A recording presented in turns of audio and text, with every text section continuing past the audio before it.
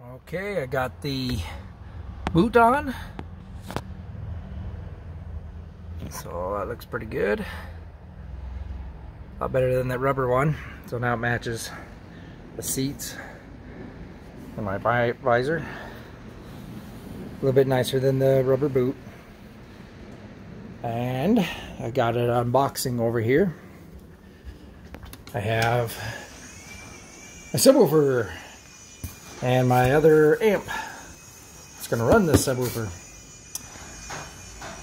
So I'm gonna unbox it real quick and kind of show you guys exactly what I got here. So, okay. Okay, here's the 8 inch sub. I mean, it's not very big, but this will power this just right. Um, it doesn't need a whole lot of volume. So when I figure out the volume, we'll see how uh, how much volume it should be. It should be pretty close to um, when I fiberglass in the back end there. It should fit fairly nice in there. So now I just got to see how I'm going to fit this into the back. Um, I'll take it out there real quick just to kind of get a give you an idea of how I, am going to set it. So there's two different ways. Uh, I can set it straight towards the back of the seat on the passenger side, or I can set it, have it sitting straight up. Um, I'm leaning towards putting it toward the uh, the back, the, the front of the back seat. Um, it might give me a little more room. Like I said, I'm, I'm gonna go see real quick and I'll give you an idea of how it's gonna fit in there. I'll just kind of set it in there with my hand and we'll kind of get a rough idea. Let's go do it. All right, to kind of give you an idea. See, this will be able, able to fit down in there completely. It's kind of dark to see, but so it can finally, it can fit all the way in. Gives me plenty of room from the back. Oh, this is horrible. Let me get a light. All right. So to kind of give you an idea, see it drops all the way down in there, no problem. Can go the other way. It's a little dark. Gives me plenty of room.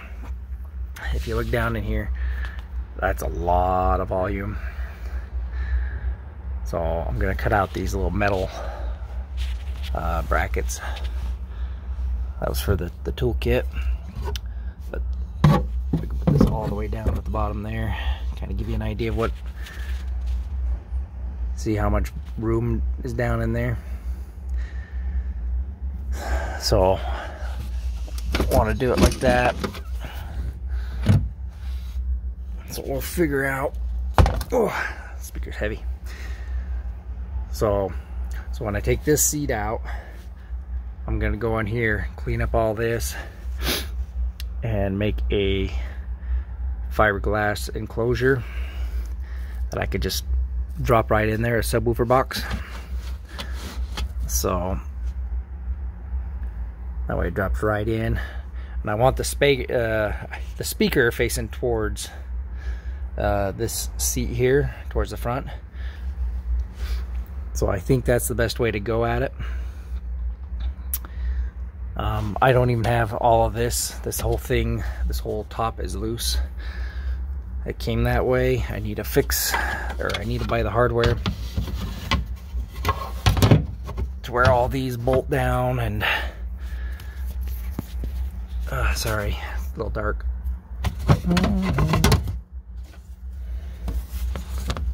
Yeah, I need to get them to where it all bolts down and in there and glued.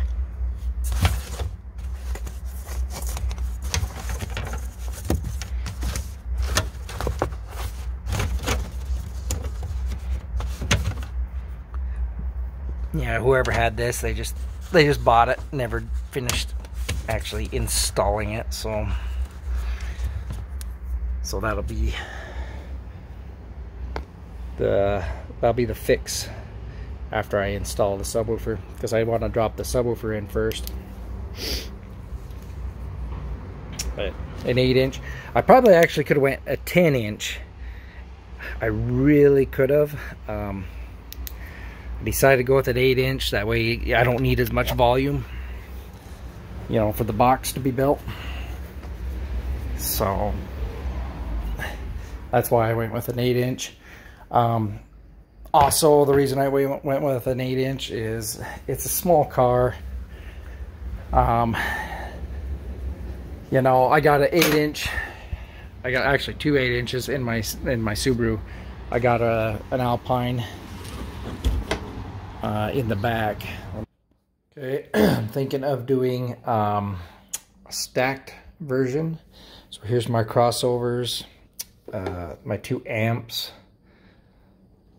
Um, I'm going to measure them out, see if that'll fit in there.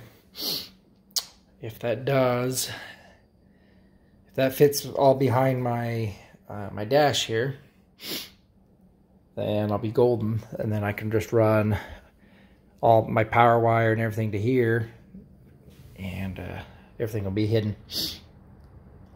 So just a rough mock-up, kind of an idea of uh, what I'm going to do. I wish these weren't so big, but uh, that's okay.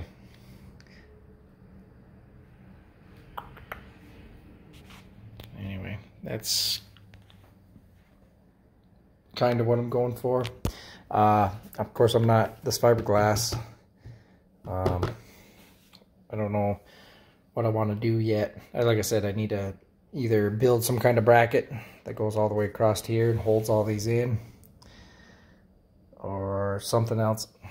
So, so I'm thinking like my power run up to here, split into these two, and then run the speaker wires to here, make a quick connect up to the the dash.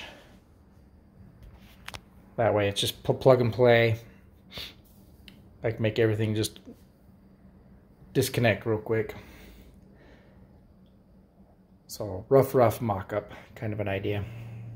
Like I said, I still have to take measurements, so. And I'm waiting on a few other things, um, you know, some connections and that, but this is our going to be our, I think our next step.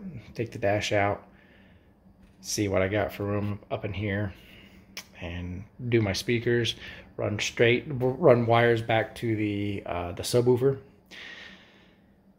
And that way everything be wired up and ready to go. And when I get when I do the subwoofer I can just drop it in plug it in and it'll be ready to go. All right. All right so after I put that dash back in and I kind of measured everything up. It looks like it will fit, believe it or not.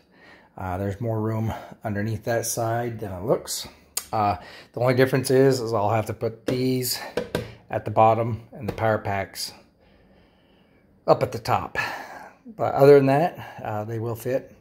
Uh, I'm going to have to find a board or something that's 10 by 11.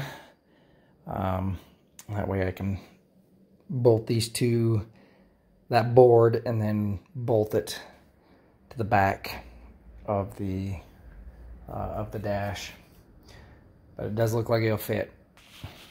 So what I'll do is I'll get a board a 10 by 11 I'll get speaker wire all the wiring and everything get it all ran uh, except for the ground uh, you know, the, the, the main connections to the speakers and all that. So I'll make quick connections.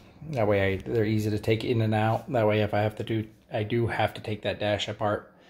I do have a quick connect.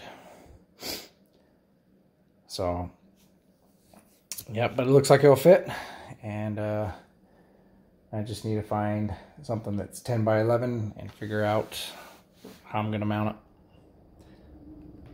All right it's the end of this video. Uh, it's getting too dark to do anything else. so thanks again, guys.